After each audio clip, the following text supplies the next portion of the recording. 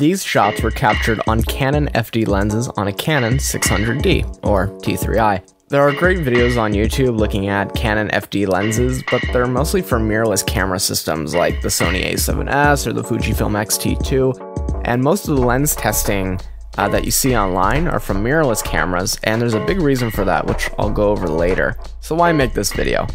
What I want to see personally isn't really on YouTube, so why not I do it? So let's look over FD lenses on an EOS system, look at the pros and cons, and just, you know, overall give my experience.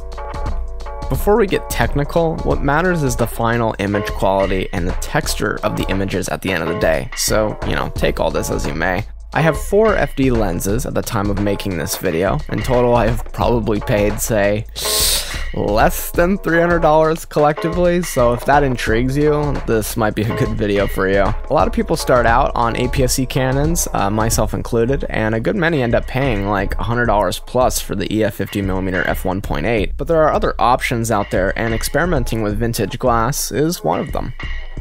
Before going over optics, what is a Canon FD lens? Well, Japan was starting to make 35mm film cameras heavily in the 1940s, and Canon rose out of that, basically becoming Canon Inc. in like 1969. Uh, shortly after they released the Canon F1, which is my primary 35mm film camera. Uh, Canon revealed the first generation of FD mount lenses at this time. FD lenses would continue to manufacture for like 20 years, making like 134 lenses, which brings us to the main reason you might not be interested in these lenses. Besides the last few that had autofocus, these are manual lenses. For video shooters, this isn't really an issue, but for photographers who like to take photographs of fast moving subjects, you're kind of fucked. Uh, along with the fact that these lenses don't have image stabilization. I personally buy nFDs, which offer less weight because of the more high quality plastic parts instead of the full metal construction. And for me, the biggest reason, the bayonet type mount. Um, when you put on a lens these days and you know you just turn it and it clicks, that's what I'm talking about. Um, FDs that aren't nFDs don't have this. For me, that's a huge pro.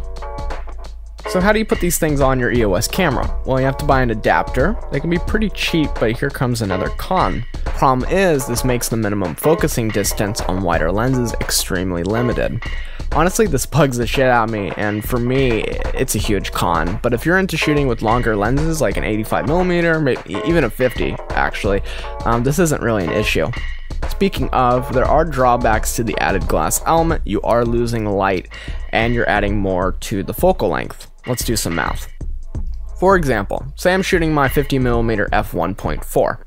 We have to apply the APS-C focal length and the adapter to the lens. 50mm times 1.6, Canon's APS-C sensor, equals 80mm, times the adapter, which is 1.26, equals 100mm. For the aperture, f1.4 times APS-C, 1.6, times 1.26 equals f2.8 minus some light. In total, with the adapter, you are adding more focal length to the lens and losing more light.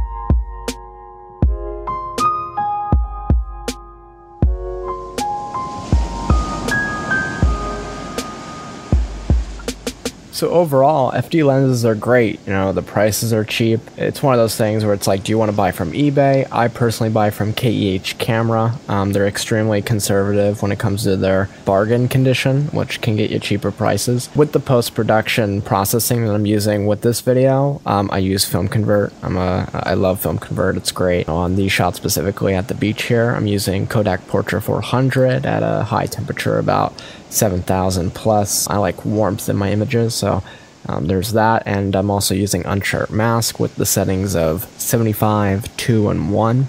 It's one of those things where it's like if you're into photography and you need that autofocus, you know, you need it, and you're just going to have to get a lens with it. In terms of video, you know, you're solid. Can really experiment with these and have fun with them. Um, with the shot that was just um, shown earlier, you know, there is a flaring deal going on. This is all filmed on the 35 to 105. Flaring is definitely a thing because there's not even a UV filter on it. And then it probably would have been nice to put a lens hood on it. Maybe that would have helped with flaring. This lens, like the macro um, function, you have to like push up a, a little switch because of the minimum focusing distance problem. It's like right where like where it clicks is like right where you want it when you're at 35 millimeters. It's rather annoying actually, but you know, it just gives you a good idea of like, you know, what you have to deal with, you know, and and there's quirks to all lenses. If you're shooting anamorphic, you know, you're gonna have to have your frame exactly the way you want it because in post production you're not going to be able to change it. Minimum focusing distance sucks. Um, like on the footage that I showed you earlier with the 24 millimeter, you know, I could barely focus on that railing on the patio. You know, with all the other glass, the 50, the the zooms I can get it in focus and whatnot. The footage is shaky, but if you just put on some warp stabilizer, like 10%, you know, stabilize only, crop it yourself, you know, you can get good results. I personally like chromatic aberration, so I like that texture in it. You can put on like an anamorphic thing in After Effects if you want to achieve that look. But this is a great bargain, and I think anyone that is interested in these lenses should check it out. So I hope you enjoy the video, and let me know um, what you'd like in the future. Thanks.